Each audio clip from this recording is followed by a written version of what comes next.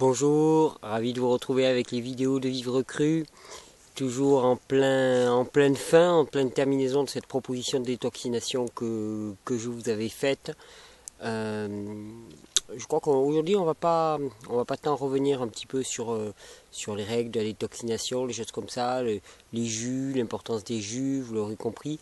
Euh, je pense qu'il y a pas mal d'informations qui ont été données durant les deux semaines précédentes, donc c'est pas la peine d'y revenir, d'y revenir.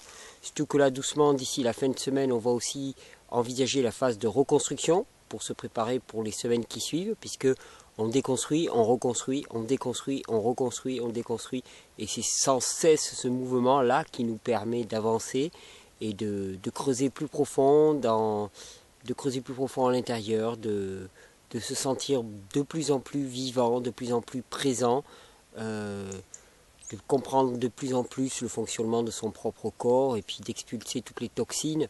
Et comme toujours, je me répète, je me répète sans cesse, mais euh, le but c'est pas d'aller d'aller bien pour un petit dans une petite poursuite égotique, hein, c'est absolument pas ça. C'est d'être le plus transparent et le plus fluide possible pour porter quelque chose de plus grand qui est notre fonction. C'est-à-dire que je pense que tant qu'on est dans la souffrance, même la souffrance physique, eh bien on est facilement piégé dans, l'ego et, le, et finalement l'apitoiement sur soi-même et la douleur de toute façon qui nous ramène à nous-mêmes objectivement. Alors que quand on devient de plus en plus transparent, alors on est, on est perméable, on est une flûte et on est, on est une flûte dans le vent et on laisse passer un, un son, une parole, une parole qui est plus grande que nous et, qui nous permet d'agir dans ce monde et de réellement devenir humain. Donc c'est vraiment le but de cette détoxination, je me répète sans cesse. Et euh, donc voilà, c'est à chacun d'expérimenter. Je vous ai donné pas mal de règles. Un jour, un jour, un jour tout au jus, un jour juste avec des fruits, une monodiète de fruits, pourquoi pas. Là, il y a une amie qui m'a contacté pour me demander ce que je penserais d'une monodiète de kaki. Excellent excellent monodiète de kaki, puis ça va pouvoir être maintenu longtemps, parce qu'une monodiète de kaki, bah, les kakis c'est très nourrissant, et donc là on peut très bien faire une monodiète de kaki pendant 15 jours, 3 semaines, donc monodiète, monodiète, que des kakis, des kakis à volonté, euh, surtout si à la saison, ou pour les gens qui sont très très actifs, monodiète de banane, même il y a eu des résultats excellents. Euh, moi là par exemple actuellement j'expérimente quelque chose de, fabuleux pour moi, là c'est monodiète de jus d'orange, je suis au jus d'orange là depuis depuis 4 jours maintenant, 4, 5 jours, je, enfin bon, entre 4 et 5 jours, euh, selon les jours avec plus ou moins de jus d'orange, des jours c'est un peu de jus d'orange et pas mal de jeûne à l'eau on va dire, et d'autres jours c'est beaucoup plus de jus d'orange en fonction des journées. Et ben c'est extraordinaire ce que j'éprouve, ce que j'expérimente. Euh, euh, déjà à mon niveau, quels sont les, bénéfices que je peux, que je peux expérimenter ben, C'est une, mon esprit est plus posé que jamais, plus posé que jamais, ça c'est clair. Mon sommeil s'en est trouvé nettement amélioré, euh, je vous l'ai déjà dit, mais mon point faible à moi c'est le sommeil. C'est vraiment mon maillon faible. Euh, je ne dors pas assez, depuis des années je ne dors pas assez. Euh, et là vraiment, j'ai particulièrement la nuit dernière, j'ai eu une nuit quand je me suis réveillé, j'avais dormi quand même la bagatelle 9 heures, pour moi c'est exceptionnel. Et quand je me suis réveillé, j'avais une impression de, repos et de quiétude totale qui était, qui était impressionnante et qui était, qui était vraiment fabuleuse. Et ben voilà, et tous les bénéfices sur la journée. Je suis plus radieux, plus, plus joyeux, plus amoureux que jamais. Donc c'est bien les bénéfices que je peux ensuite renvoyer vers le monde pour la preuve que finalement toutes ces démarches que l'on fait, elles ne sont pas pour notre petit nombril, mais elles sont pour, euh, pour tous les autres. Voilà, 4 jours, 4-5 jours au jus d'orange pur, euh, en, quantité, euh, à, désir, on va dire. Hein. C'est pareil que quand on fait une monodiète, à désir, on ressent ses besoins. Euh, là, moi j'ai tourné, j'en ai peut-être bu 3 litres par jour à peu près, 2 litres, 3 litres, ça dépend, ça dépend des fois. Donc ça représente un apport énergétique conséquent, donc je ne suis pas en train de m'affamer. je pense même pas que je perde trop de poids, ce qui, se, ce qui est, pas mal pour moi. C'est pour ça que je ne peux pas envisager un jeûne à l'eau, parce que j'ai une, peur en moi, c'est encore de perdre du poids, c'est assez difficile. Mais en même temps, si je ne reprends pas du poids, c'est parce que mon système est complètement encombré, donc c'est un cercle vicieux. Donc le jeûne au jus, c'est un bol entre deux dans lequel finalement je permets le nettoyage du corps et en même temps je, eh bien je ne perds pas trop de poids, j'ai de l'énergie, je peux être présent dans le monde sans être alité au repos total, parce qu'actuellement c'est pas ce qui m'est demandé. D'ailleurs, si on peut me demander quelles, sont les preuves de la détoxination, eh bien la fatigue, le repos, bien sûr, la sortie de matière. Moi, j'ai beaucoup mouché avec des, mucus particulièrement épais. Et puis, bien sûr, la couleur de la langue. J'ai une langue qui est très blanche. Je ne sais pas si je vais vous faire. Allez, une première, tirer la langue devant une caméra. Ah, ça c'est une première. Donc voilà, voilà une belle langue bien blanche, bien marquée. Et ça c'est un critère euh, qui ne trompe pas, une langue blanche. D'ailleurs c'est intéressant, le, fait de prendre du jus d'orange, par exemple quand je me réveille le matin, la langue est bien blanche, bien pâteuse. Euh, si je prends du jus d'orange vers 11h par exemple, ça ne change rien, c'est-à-dire que ça ne coupe pas la détoxination, c'est très très intéressant et je vous encourage à faire ces expériences. Est-ce que ça coupe pour vous la détoxination, ce que vous faites ou pas? Donc voilà, c'est à jouer, c'est à jouer, c'est à jouer. Et hum, donc aujourd'hui, pas de règles, pourtant j'ai dû passer bien 5 minutes à en parler. Pas de règles, mais euh, j'aimerais bien faire un dernier, un petit tour d'horizon rapide de tout ce qu'on a évoqué au cours de ces 15 jours, 3 semaines, parce que plusieurs personnes m'ont dit c'est vraiment nécessaire de se répéter, de se répéter, de se répéter, et je le comprends parfaitement.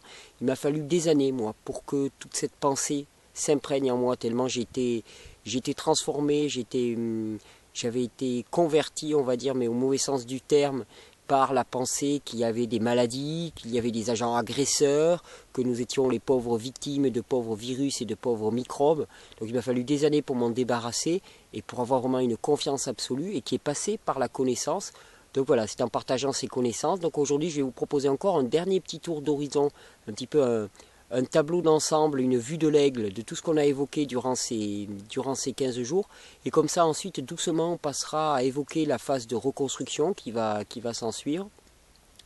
Donc voilà, vous avez bien compris que tout système, quel qu'il soit, tout système vivant, tout système humain, eh bien, il y a deux, côtés de ce système. Il y a le côté euh, dans lequel on nourrit ce système et il y a le côté où on évacue les déchets tout ce que l'on voit dans la nature, tout système, se nourrit et évacue des déchets, que ce soit à l'échelle du microscope ou que ce soit à l'échelle du macroscope, tout existe comme ça, même à l'échelle de la planète, la biosphère euh, consomme de l'énergie et rejette des déchets, des déchets du fonctionnement de la biosphère. Eh bien c'est pareil pour les humains. Nous consommons, il y a l'alimentation, mais pas que, nous consommons de l'air aussi, et, puis nous avons des déchets. Alors euh, ce qu'on voit d'habitude comme déchets, eh bien c'est les sels. Mais alors les sels ne sont que les déchets issus de la digestion. C'est uniquement les déchets digestifs. Or, il y a quelque chose qui se passe dans le corps, c'est que nous avons plus de 80 millions, même plus de 100 millions de cellules à l'action tout le temps, qui ne s'arrêtent pas. Et ces cellules elles-mêmes, elles se nourrissent et elles respirent, elles fonctionnent et elles rejettent des déchets qu'on appelle les déchets métaboliques.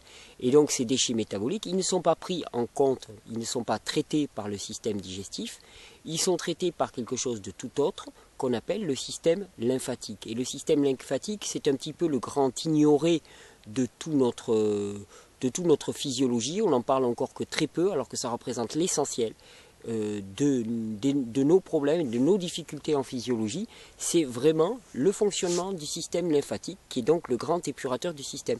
Et ça, on le comprendra très bien. Imaginons que, que vous avez euh, une maison, une pièce dans une maison, et puis on va commencer à accumuler des déchets. On va accumuler des déchets, on va accumuler des déchets. Quand la pièce sera pleine, on ne pourra même plus faire rentrer d'autres éléments dedans, même propres.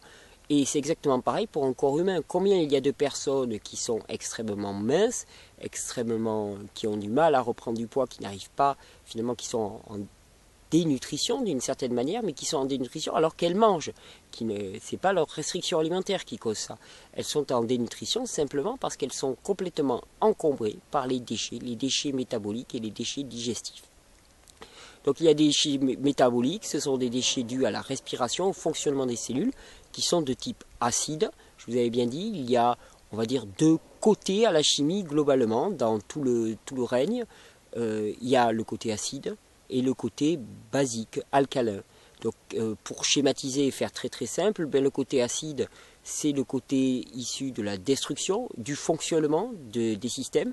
Et je ne dis pas ça avec un état d'esprit négatif quelconque, c'est euh, une réalité de la vie. La vie est destruction d'une certaine manière.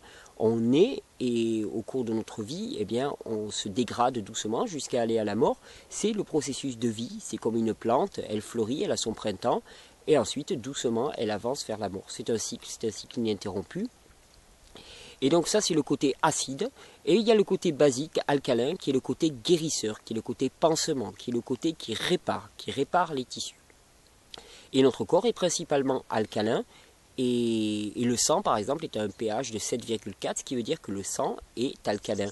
Et le sang ne peut pas se permettre de ne pas être alcalin, ne peut pas se permettre de dévier de ces 7,4.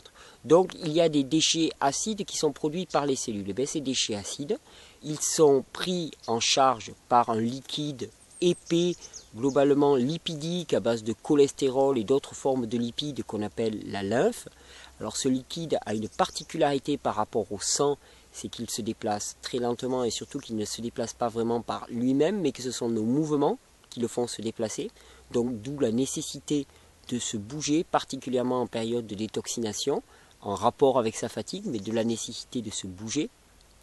Et donc cette lymphe, qui est cette espèce de mucus épais, lipidique, va prendre en compte ces déchets acides, les amener doucement vers des petits des petites fosses septiques qu'on va appeler les ganglions, les ganglions lymphatiques.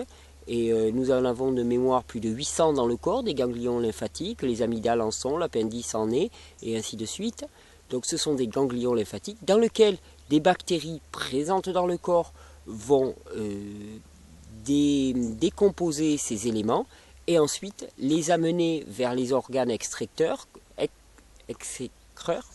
ouais, on va dire, euh, qu'on appelle les émonctoires, donc vers les émonctoires, euh, que sont le poumon, les reins, le, tube digestif et la peau, bien sûr, le quatrième, le troisième rein. Et hum, donc, amené à ces émonctoires, eh bien, ça va sortir vers le milieu extérieur et être exécré euh, par la respiration, par la transpiration, par l'urine et par les selles.